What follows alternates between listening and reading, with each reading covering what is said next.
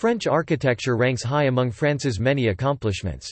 Indications of the special importance of architecture in France were the founding of the Academy of Architecture in 1671, the first such institution anywhere in Europe, and the establishment in 1720 of the Prix de Rome in architecture, a competition of national interest, funded by the state, and an honour intensely pursued. If the first period of France's preeminent achievement was the Gothic, and the second, the 18th century, the longer tradition of French architecture has always been an esteemed one.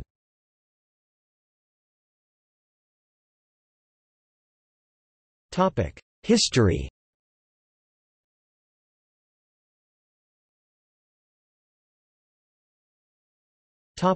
Gallo-Roman The architecture of ancient Rome at first adopted the external Greek architecture and by the late Republic, the architectural style developed its own highly distinctive style by introducing the previously little used arches, vaults and domes. A crucial factor in this development, coined the Roman architectural revolution, was the invention of concrete. Social elements such as wealth and high population densities in cities forced the ancient Romans to discover new architectural solutions of their own. The use of vaults and arches together with a sound knowledge of building materials, for example, enabled them to achieve unprecedented successes in the construction of imposing structures for public use.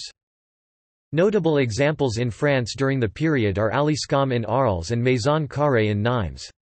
The Alyscamps is a large Roman necropolis, which is a short distance outside the walls of the old town of Arles. It was one of the most famous necropolises of the ancient world. The name is a corruption of the Latin Elysi Campi that is, Champs-Élysées or Elysian Fields. They were famous in the Middle Ages and are referred to by Ariosto in Orlando Furioso and by Dante in the Inferno. The Alyscamps continued to be used well into medieval times, although the removal of Saint Trophimus's relics to the cathedral in 1152 reduced its prestige.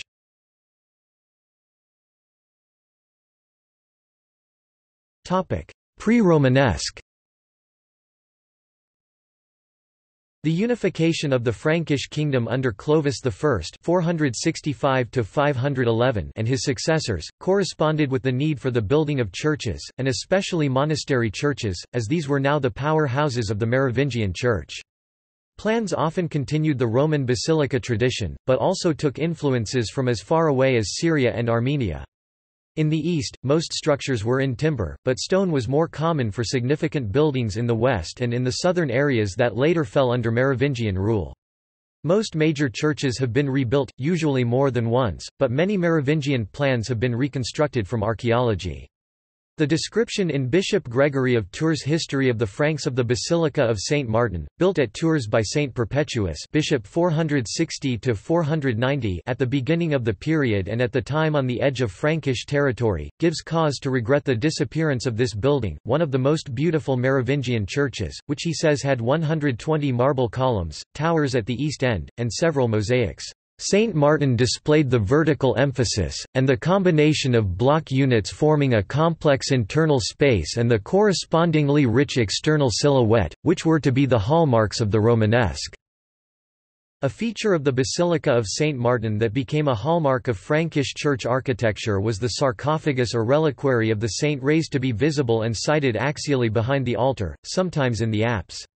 There are no Roman precedents for this Frankish innovation. A number of other buildings, now lost, including the Merovingian foundations of Saint-Denis, Saint-Géréon in Cologne, and the Abbey of Saint-Germain-des-Prés in Paris, are described as similarly ornate.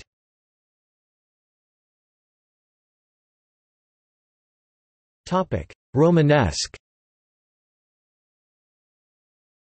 Architecture of a Romanesque style developed simultaneously in parts of France in the 10th century and prior to the later influence of the Abbey of Cluny. The style, sometimes called First Romanesque or Lombard Romanesque, is characterized by thick walls, lack of sculpture and the presence of rhythmic ornamental arches known as a Lombard band. The Angoulême Cathedral is one of several instances in which the Byzantine churches of Constantinople seem to have been influential in the design in which the main spaces are roofed by domes. This structure has necessitated the use of very thick walls, and massive piers from which the domes spring. There are radiating chapels around the apse, which is a typically French feature and was to evolve into the chevet. Notre Dame in Domfront, Normandy is a cruciform church with a short apsidal east end. The nave has lost its aisle, and has probably some of its length. The crossing has a tower that rises in two differentiated stages and is surmounted by a pyramidical spire of a type seen widely in France and Germany and also on Norman towers in England. The Abbey of Fontgombault in France shows the influence of the Abbey of Cluny. The cruciform plan is clearly visible. There is a chevet of chapels surrounding the chancel apse. The crossing is surmounted by a tower. The transepts end with gables. The Saint-Étienne located in Caen presents one of the best-known Romanesque facades of northern France, with three portals leading into the nave and aisles, and a simple arrangement of identical windows between the buttresses of the tall towers. Begun in the 1060s, it was a prototype for Gothic facades. The spires and the pinnacles, which appear to rise inevitably from the towers, are of the early 13th century. The Trinité Church of Caen has a greater emphasis on the central portal and the arrangement of the windows above it.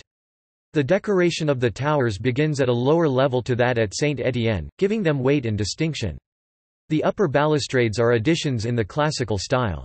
The façade of Le Puy en Velay in Haute-Loire has a complex arrangement of openings and blind arcades that was to become a feature of French Gothic façades. It is made even richer by the polychrome brick used in diverse patterns, including checkerboard, also a feature of ceramic decoration of Spanish churches of this period. The profile of the aisles is screened by open arches, perhaps for bells. Angoulême Cathedral is another richly decorated façade, but here it is of dressed stone with sculpture as the main ornament. The manner of arrangement of the various arches is not unlike that at Le Puy en Velay, but forming five strong vertical divisions which suggests that the nave is framed by two aisles on each side. In fact, the church has no aisles and is roofed by domes. The figurative sculpture, in common with much Romanesque sculpture, is not closely integrated to the arched spaces into which it has been set.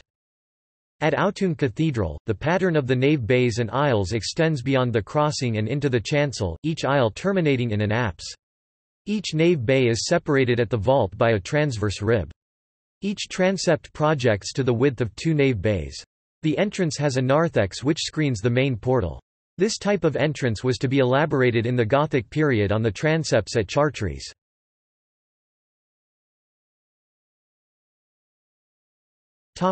Medieval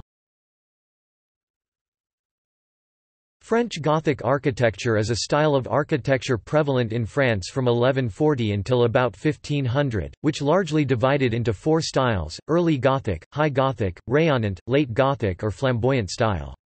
The early Gothic style began in 1140 and was characterized by the adoption of the pointed arch and transition from late Romanesque architecture. To heighten the wall, builders divided it into four tiers, arcade arches and piers, gallery, triforium, and clerestory.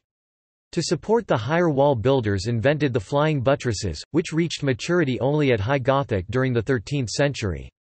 The vaults were six-ribbed sexpartite vaults. Notable structures of the style include the east end of the Abbey Church of Saint-Denis, Sens Cathedral, Notre Dame of Laon, the west façade of Chartres Cathedral, Notre Dame de Paris, Lyon Cathedral and Toul Cathedral. The High Gothic style of the 13th century canonized proportions and shapes from early Gothic and developed them further to achieve light, yet tall and majestic structures. The wall structure was modified from four to only three tiers, arcade, triforium, and clerestory. Piers coronations were smaller to avoid stopping the visual upward thrust. The clerestory windows changed from one window in each segment, hold in the wall, to two windows united by a small rose window. The rib vault changed from six to four ribs. The flying buttresses matured, and after they were embraced at Notre Dame de Paris and Notre Dame de Chartres, they became the canonical way to support high walls, as they served both structural and ornamental purposes. The main body of Chartres Cathedral 1194 Amiens Cathedral, and Bourges Cathedral are also representatives of the style. Aside from these Gothic styles, there is another style called Gothique Meridional, or Southern Gothic, opposed to Gothique Septentrional or Northern Gothic. This style is characterized by a large nave and has no transept. Examples of this Gothic architecture would be Notre Dame de Lamourguier in Narbonne and Sainte Marie in Saint Bertrand de Comminges.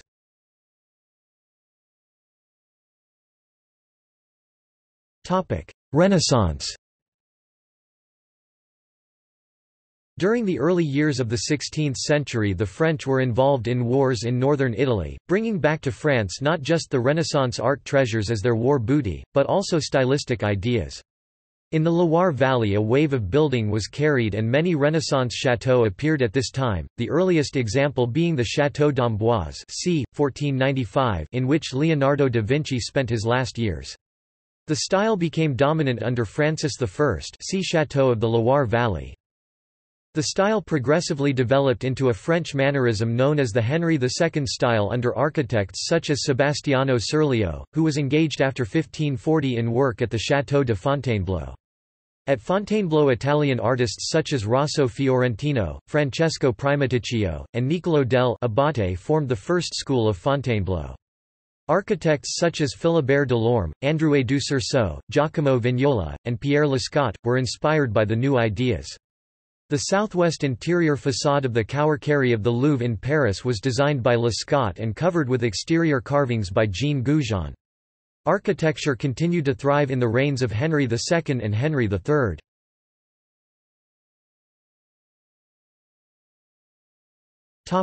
Baroque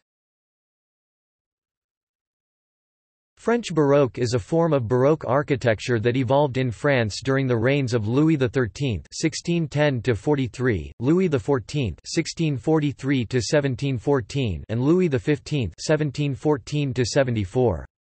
French Baroque profoundly influenced 18th-century secular architecture throughout Europe.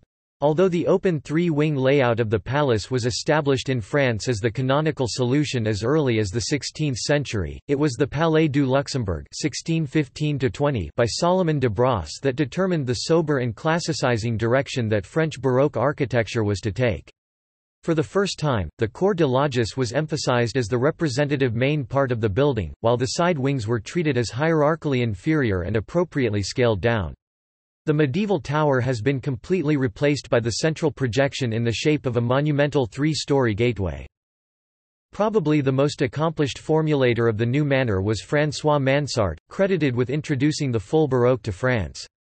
In his design for Château de Maisons 1642, Mansart succeeded in reconciling academic and Baroque approaches, while demonstrating respect for the Gothic inherited idiosyncrasies of the French tradition.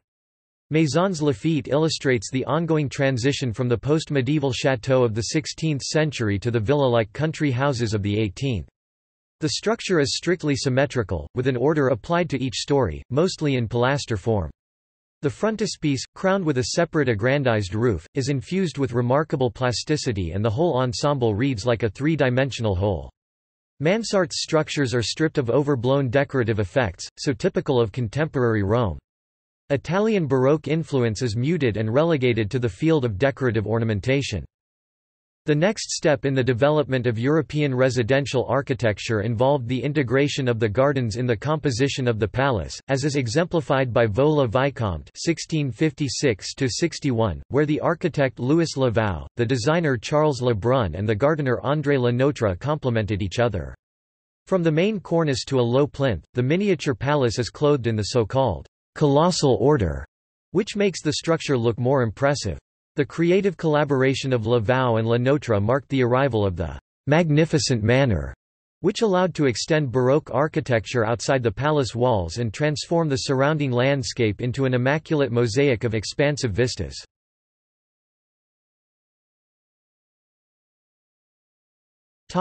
Rococo Rococo developed first in the decorative arts and interior design. Louis XIV's succession brought a change in the court artists and general artistic fashion. By the end of the Old King's reign, rich Baroque designs were giving way to lighter elements with more curves and natural patterns. These elements are obvious in the architectural designs of Nicolas Pineau. During the Régence, court life moved away from Versailles and this artistic change became well established, first in the royal palace and then throughout French high society.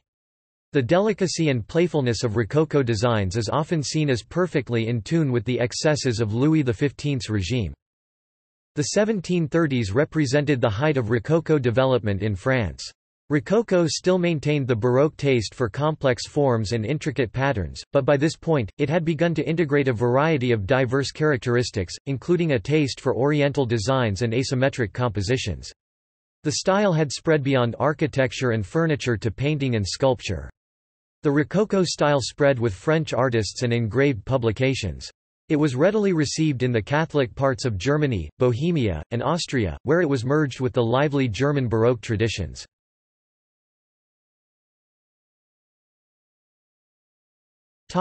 Neoclassicism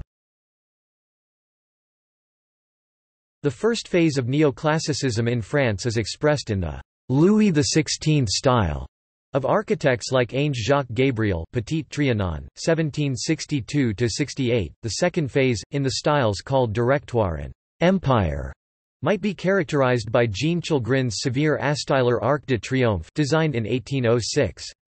In England the two phases might be characterized first by the structures of Robert Adam, the second by those of Sir John Soane.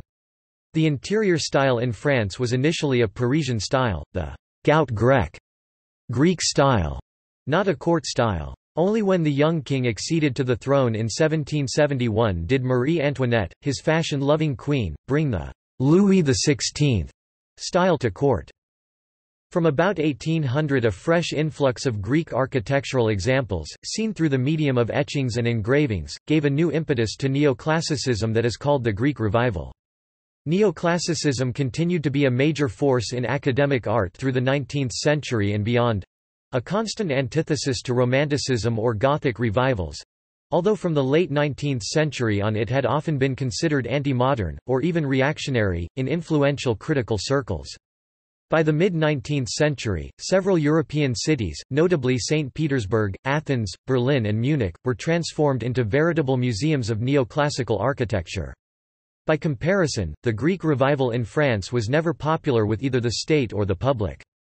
What little there is started with Charles de Wailly's crypt in the Church of St. Louis Street Giles 1773 and Claude Nicolas Ledoux's Barrière des Bonshommes 1785 First-hand evidence of Greek architecture was of very little importance to the French, due to the influence of Marc-Antoine Laugier's doctrines that sought to discern the principles of the Greeks instead of their mere practices. It would take until Labrouste's Neo-Grec of the Second Empire for the Greek revival to flower briefly in France.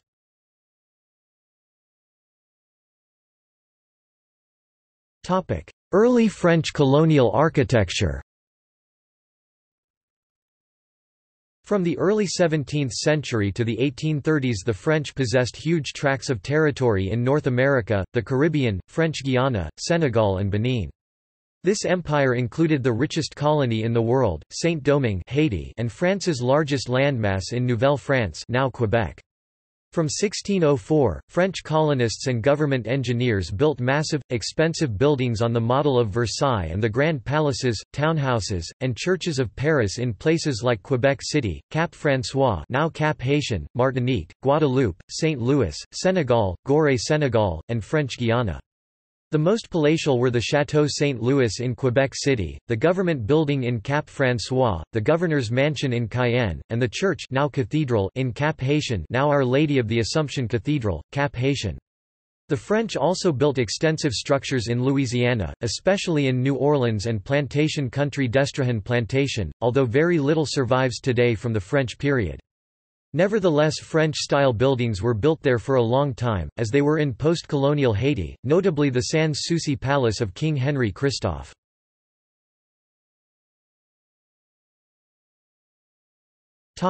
Second Empire During the mid-19th century when Napoleon III established the Second Empire, Paris became a glamorous city of tall, imposing buildings. Many homes were embellished with details such as paired columns and elaborate wrought iron cresting appeared along rooftops. But the most striking feature borrowed from this period is the steep, boxy mansard roof. You can recognize a mansard roof by its trapezoid shape. Unlike a triangular gable, a mansard roof is almost vertical until the very top, when it abruptly flattens. This singular roofline creates a sense of majesty, and also allows more usable living space in the attic. In the United States, Second Empire is a Victorian style. However, you can also find the practical and the decidedly French mansard roof on many contemporary homes.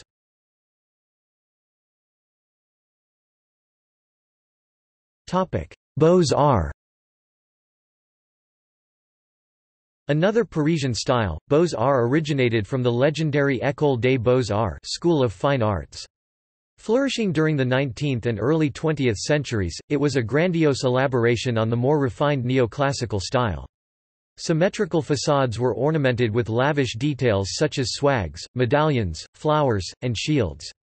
These massive, imposing homes were almost always constructed of stone and were reserved for only the very wealthy. However a more humble home might show Beaux-Arts influences if it has stone balconies and masonry ornaments. Many American architects studied at the École des Beaux-Arts, and the style strongly influenced United States architecture from about 1880 to 1920. Topic Art Nouveau and Art Deco Topic Modernist and contemporary Main, modernist architecture in France Some renowned modernist and contemporary French designers and architects include Le Corbusier Robert Mallet Stevens Frédéric Borel Dominique Perrault Christian de Portzamparc Jean Nouvel. List of post-World War II French architects Examples of modernist and contemporary buildings in France. Villa Savoye Notre Dame du Haut Chapel du Ronchamp Le Corbusier Buildings. Villa Noailles Institut du Monde Arabe Jean Nouvel Buildings.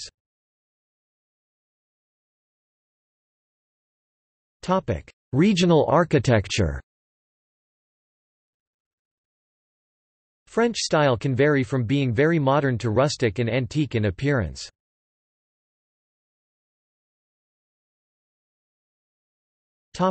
Provincial One of the most distinctive characteristics of many French buildings is the tall second-story windows, often arched at the top, that break through the cornice and rise above the eaves. This unusual window design is especially noticeable on America's French provincial homes. Modeled after country manors in the French provinces, these brick or stucco homes are stately and formal. They have steep hipped roofs and a square, symmetrical shape with windows balanced on each side of the entrance. The tall second-story windows add to the sense of height.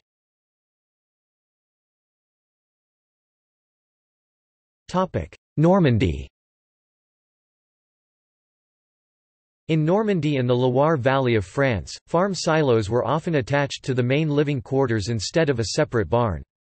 After World War I, Americans romanticized the traditional French farmhouse, creating a style known as French Normandy.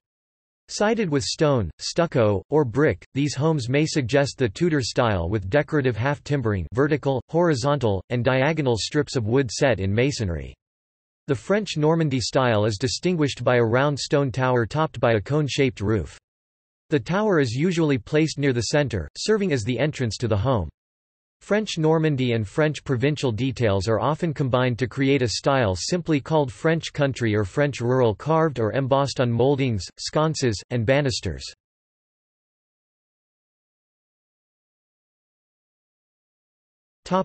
Overseas architecture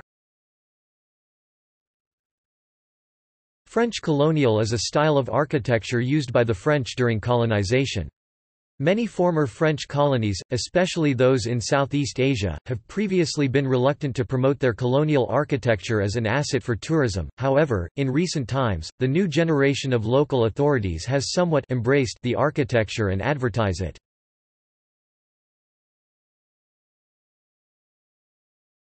Topic: America French Creole architecture is an American colonial style that developed in the early 18th century in the Mississippi Valley, especially in Louisiana. French Creole buildings borrow traditions from France, the Caribbean, and many other parts of the world such as Spanish, African, Native American, and other heritages.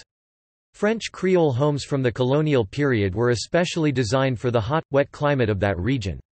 Traditional French Creole homes had some or all of these features, Timber frame with brick or bousillage, mud combined with moss and animal hair. Wide-hipped roof extends over porches. Thin wooden columns. Living quarters raised above ground level. Wide porches, called galleries. No interior hallways. Porches used as passageway between rooms French doors doors with many small panes of glass See also